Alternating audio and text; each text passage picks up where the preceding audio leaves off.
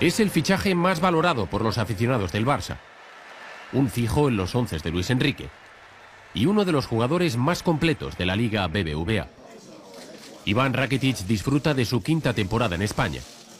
El ex sevillista lleva poco más de tres meses en Barcelona y sorprende verle tan acoplado al sistema de juego azulgrana y al club. Su valoración de este corto tiempo en la ciudad condal no puede ser más positiva. Me siento muy, muy bien, muy cómodo. En verdad puedo decir desde el primer día eh, y que también estoy muy agradecido. Eh, toda la gente en el vestuario, eh, la gente del club, la afición, no lo hacen tan fácil, me lo hacen, me hacen sentirme uno más de la familia tan grande, ¿no? Y eso es en verdad algo muy, muy importante y eso claro también después eh, se traslada al campo y yo me siento en verdad muy, eh, muy cómodo y ojalá siga así. Tras ganar la Europa League con el Sevilla, ahora Rakitic tiene el objetivo de luchar por la Champions, la Copa y la Liga en el Barça. Pero el primer reto enorme se le presenta este fin de semana con el clásico del fútbol español, un partido que siempre ha querido disputar. Sí, como niño pequeñito sí he soñado, pero ahora no quiero soñar, ahora quiero vivirlo. Quiero vivirlo, quiero hacerlo.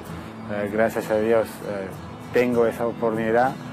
Por eso digo, por eso lo quiero trabajar, por eso lo quiero eh, hacer lo mejor posible, porque sé que, como dices, a lo mejor vivo un sueño de mucha gente. es una responsabilidad también importante y sobre todo quiero devolver esa confianza que tiene el club en mí, que tiene la afición en mí y enseñarlo que, que lo, que hago es, lo correcto, voy por buen camino.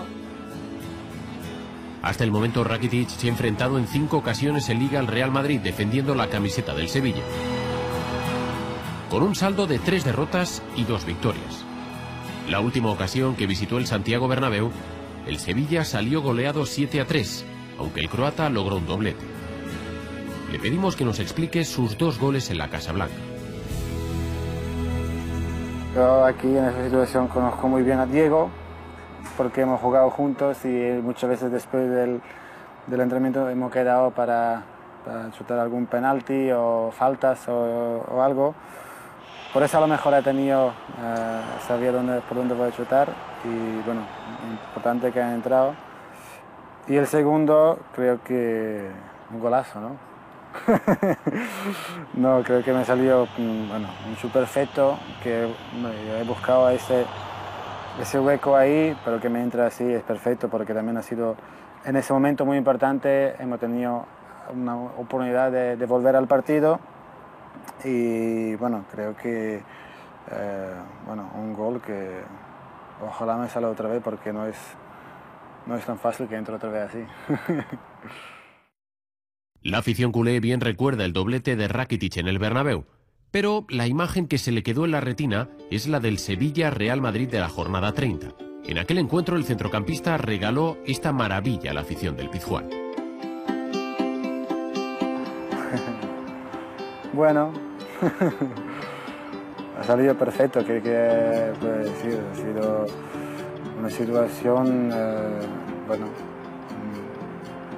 muy difícil, bueno, normalmente muy eh, eh, más cómodo para, para defenderlo para, eh, para, el defensor, ¿no? si le viene a la espalda y sabiendo que en general los jugadores del, Madrid son muy fuertes y en el, en el, choque no te lo puedes llevar siempre. ¿no?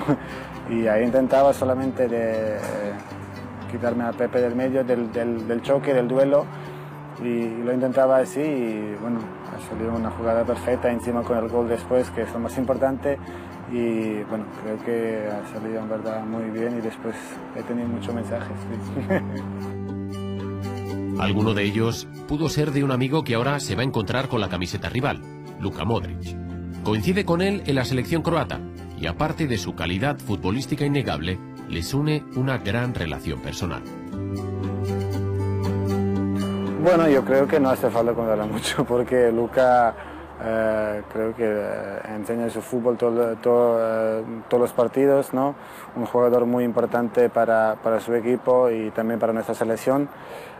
yo prefiero hablar más de la, de la persona, que es un, un hombre buenísimo, que ya llevamos 7, 8 años juntos en la selección y en verdad desde el primer día he tenido siempre muy buena relación con él y también a día de hoy muchas veces tenemos contacto, hablamos uno con el otro y eh, ahora también nos ha tocado en la selección de ser segundo y tercer capitán, así también que vamos ahí hablando mucho y eh, en verdad es una alegría eh, jugar con él en la selección porque nos entendemos muy bien y también los familiares, así que es, es muy bonito para un país como Croacia de, poder tener a dos jugadores en el clásico y ojalá se lo, verá toda, toda Croacia.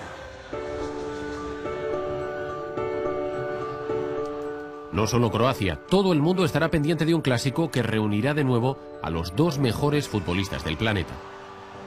Cristiano Ronaldo está en un momento espectacular, pero Rakitic cree que el Barça cuenta con el número uno.